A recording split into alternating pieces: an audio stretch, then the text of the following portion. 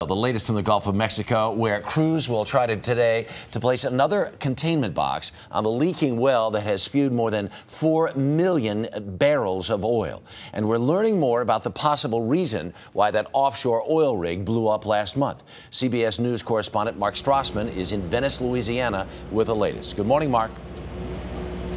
Good morning, Harry. BP's mulling over several options as the company scrambles to find some way to seal this gushing well. But none of those options comes with a guarantee. In fact, none of them has ever even been tried in water so deep.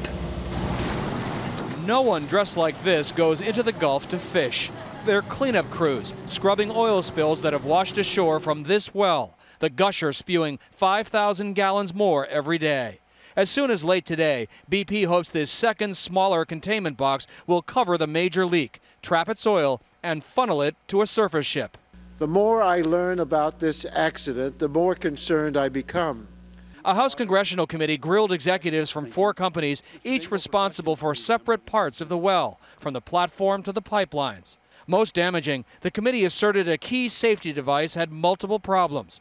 The gushing well's blowout preventer, supposedly fail-safe, never shut off oil flow as intended in emergencies. That allowed methane gas to enter, possibly triggering the rig's deadly explosion.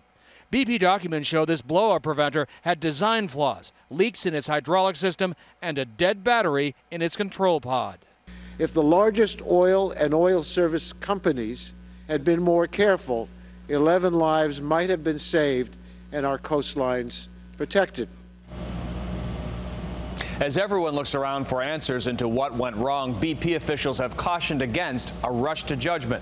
But there's a growing sense that there's plenty of blame to go around. Mm. Harry? Mark Strassmann in Venice, Louisiana this morning. Thank you. A lot happens early on The Early Show, weekday mornings on CBS.